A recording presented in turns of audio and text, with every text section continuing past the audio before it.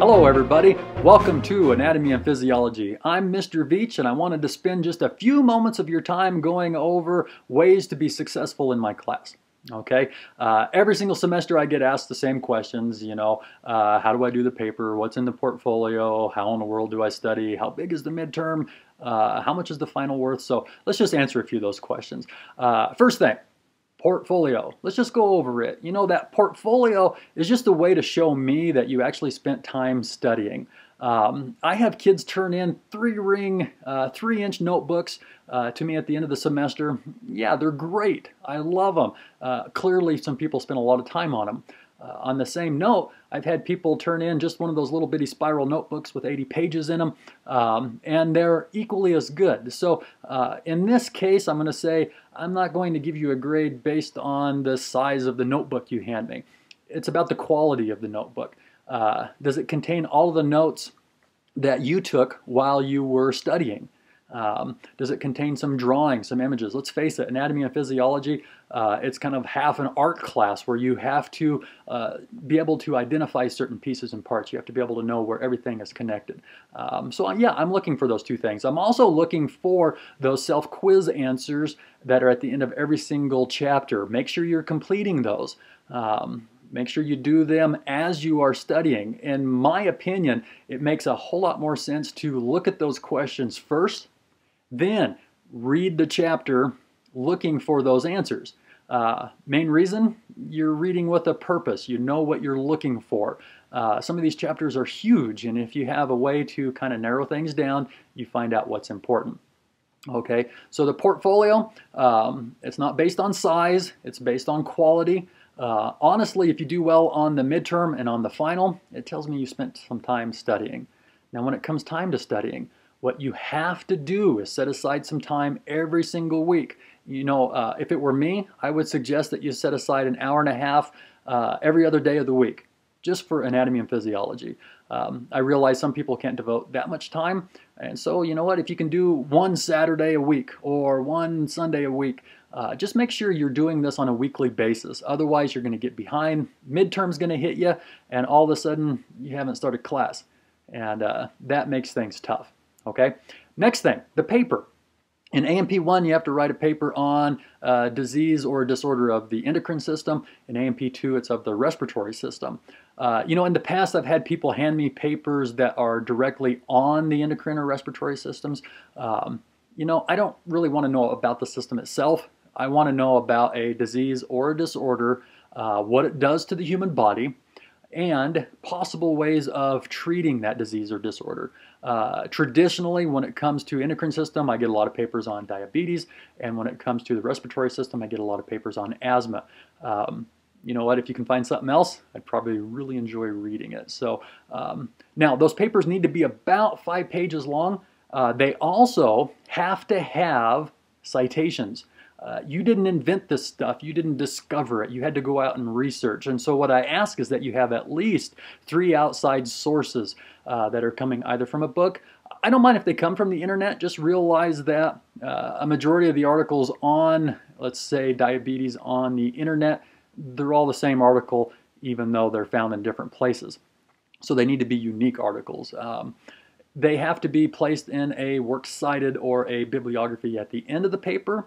Uh, you also have to have in-text citations in the paper because if you're giving me data or if you're telling me about certain proteins that do this or that, uh, once again, you didn't discover it, you're just telling me about it. So make sure you're giving credit where credit is due. Somebody else found that stuff.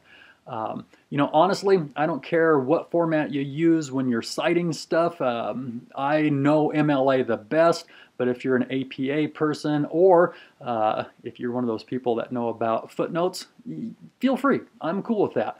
Um, I can figure it out, but you just have to have that stuff. Honestly, if I don't see an in-text citation, that paper that is worth uh, roughly 20% of your grade uh, may go from an A instantly to a C or a D just because you didn't cite your stuff. Next thing, uh, if there is uh, plagiarism, it's a zero. Uh, we don't do plagiarism. You need to come up with your own paper. Um, but not a big deal. Once again, right around five pages long. Um, I'm not going to count words. Uh, no need to try to cheat me. One inch margins, you know, standard MLA or APA style is what you need to do. So paper, nothing to it. Now, the thing is that paper is due the same time of your dissection, which leads me to the next thing. Uh, hey, Mr. Veatch, do I have to go to the dissection? Uh, the answer is yeah, you do. It's uh, your lab component. It is worth 20% of your grade as well. Uh, the dissection itself, we do uh, dissect a fetal pig. Um, if you're a little bit of nerve, a little bit nervous, don't worry about it. Um, honestly, people get nervous during those things, and then once you get started, uh, I would like to think that you're just amazed of how complex and amazing this body is. Um, and if you're wondering why a fetal pig, uh, honestly, uh, pig's anatomy really, really, really similar to uh, a human's anatomy.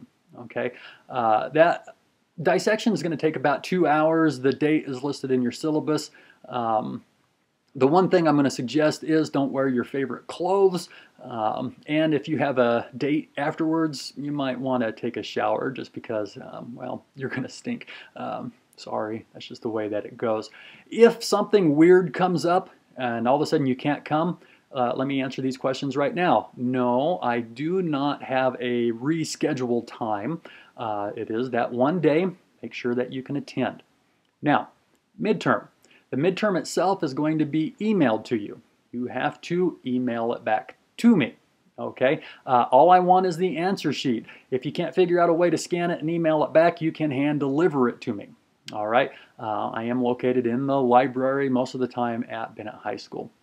Now, when it comes to the final, it's going to be the same thing. I'm going to hand you the final or email you the final. You're going to have to, in this case, actually deliver it to me because I'm going to need that portfolio along with it. Okay, uh, no big deal. Everything's fairly straightforward. Everything is fairly simple. Um, you know what? I love this class. I love the people who are taking the class. Generally speaking, uh, people who take it, they want to do something in the medical field, so they're taking it for real. Um, they spend time, they spend time studying, um, and that's what I'm going to suggest to you. Just make sure you're spending time studying. Now, last but not least, is going to be um, this semester I'm using a uh, online service called Edmodo which allows me to post all sorts of stuff all of my PowerPoints and whatnot. Um, it's just like Facebook. Make sure you uh, join the group. Make sure you spend some time in it. Uh, make sure you use all of those cool resources that I have all right? If you ever have any questions uh, feel free. Email me call me and you know what? If you can stop by uh, make sure you call first because I do have several classes throughout the day. Uh, but yeah, give me a call, show up, we'll sit down and chat. So um, once again, welcome to the class, and I'm sure everything will be fine.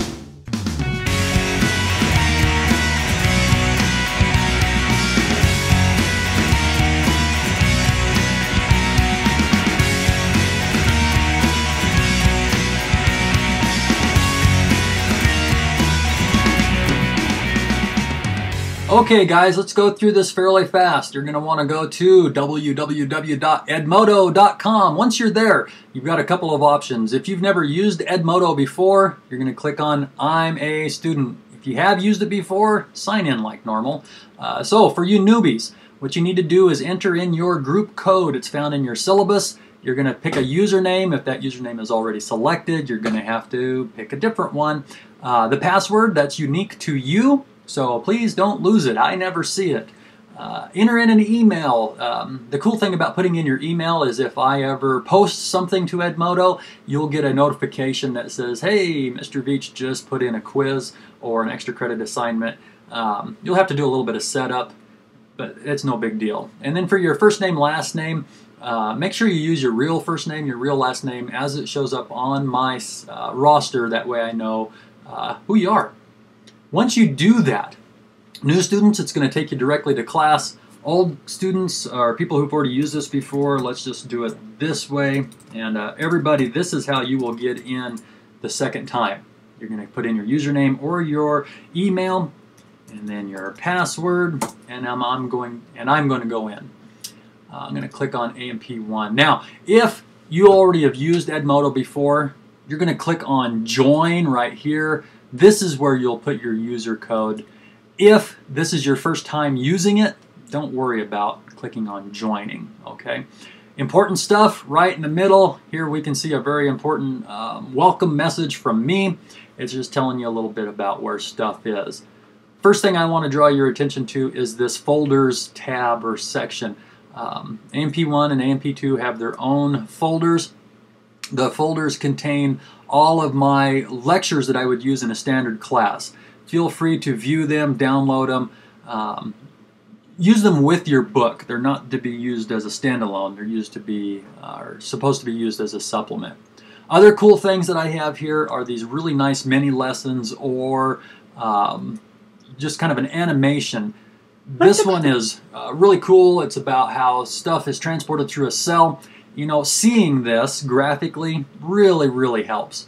Um, especially when you're looking at stuff like how muscles work, how um, nerves send messages to one another. So feel free to use these. They're really, really quite useful. Next item, calendar. Uh, the calendar has everything that is due and when it's due for your class. You can see the class starts on the 17th. Uh, very first important thing is I email the midterm out to you on February the 29th. You have to email, mail, or hand deliver the answer sheet to me by March the 7th, no later than 3 o'clock. In order to get out of anywhere, just click on Home. Now, let's just say for an instant that you have something really important. You say, what is my grade? Pow, pow, pow. And then you send it to me. Send. Okay, here's the first problem.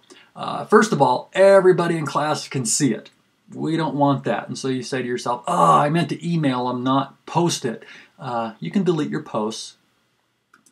Um, feel free to delete them if you accidentally delete or uh, say something you didn't mean to say. Um, if you have important questions dealing with personal information, email me. Otherwise, if you want to say, hey, did you guys hear about the latest, greatest thing in uh, medical science? You can post it here. Uh, it's just kind of a neat way to uh, interact with some of your classmates. If you miss something, rewind, watch this again. Otherwise, feel free to email or call me and I will walk you through it. Hope this helped.